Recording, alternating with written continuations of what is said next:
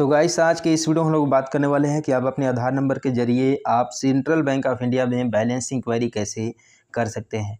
यहाँ पर आप लोग को बिल्कुल लीगल तरीका बताने वाला हूँ। यहाँ पर कोई भी लीगल एक्टिविटी नहीं होने वाला है। आप लोग को परेशानी कुछ भी नहीं होगा। इसमें सिंपल तरीका है सिंपल सिस्टम है सिंपल मेथड है जिसके ज़रिए आप लोग बैलेंस इंक्वायरी कर पाओगे।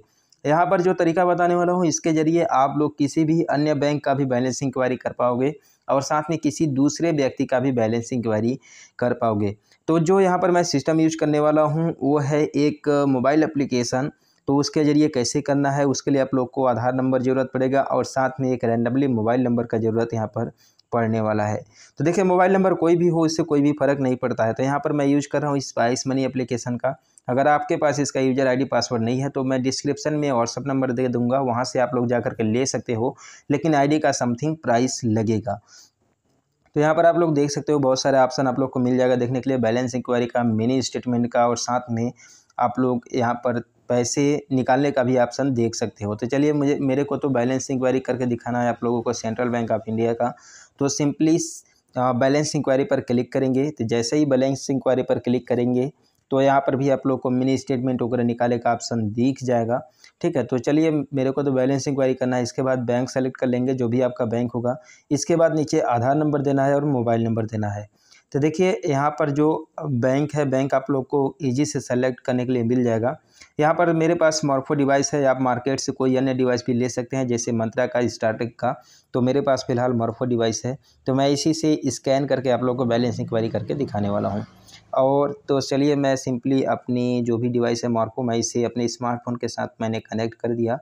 और इसके बाद चलिए यहाँ पर मैं आप लोग को बैंक सेलेक्ट करके दिखा रहा हूँ सबसे पहले। तो चलिए बैंक पर जैसे क्लिक करेंगे तो आप लोग नीचे स्क्रॉल करेंगे तो आप लोग को सेंट्रल बैंक ऑफ़ इंडिया मिल जाएगा या फिर टॉप में आप जा करके सर्च भी कर सकते हैं। तो यहाँ पर सेंट्रल बैंक ऑफ़ इंडिया मैंने सेलेक्ट कर लिया है। अब इसके बाद इसमें आधार नंबर हमें देना है तो आधार नंबर चलिए हमें मिल जाएगा तो चलिए मैं आधार नंबर यहाँ पर दे दे रहा हूँ। और आधार नंबर देने के बाद एक मोबाइल नंबर भी देना होगा। ज़रूरी नहीं है कि जो नंबर आपके बैंक अकाउंट में लिंक हो, वही नंबर दें। और यहाँ पर आप कोई भी मोबाइल नंबर दे सकते हैं। तो जैसे ही यहाँ पे यहाँ पर थम स्कैन पर क्लिक करेंगे तो आप देख सकते हैं कि यहाँ पर जो बायोमेट्रिक मशीन है, जलने लगा। और थम पर क्लिक करेंगे तो जो बैलेंस है, यहाँ पर शो करने लगेगा।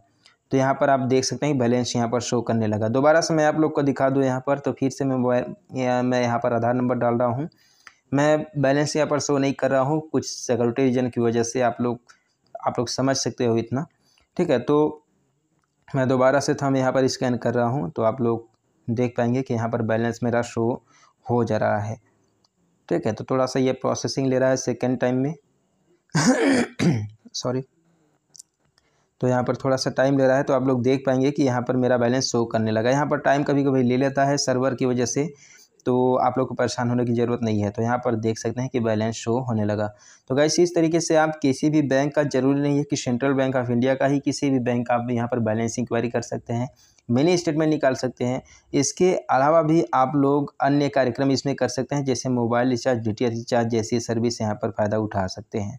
ठीक है? इसके अलावा पैन कार्ड भी अप्लाई कर सकते हैं ट्रेन टिकट भी बुकिंग कर सकते हैं इस एप्लीकेशन के ज़रिए। ठीक? तो आई होप कि इस वीडियो से आप लोग को काफ़ी हेल्प लग, मिला होगा। तो इस चैनल को भी सब्सक्राइब कर देना वीडियो को लाइक कर देना और शेयर भी कर देना। हम लोग मिलते हैं फिर किसी नेक्स्ट वीडियो में नए सोल्यूशन के साथ। तब तक के लिए बाय बाय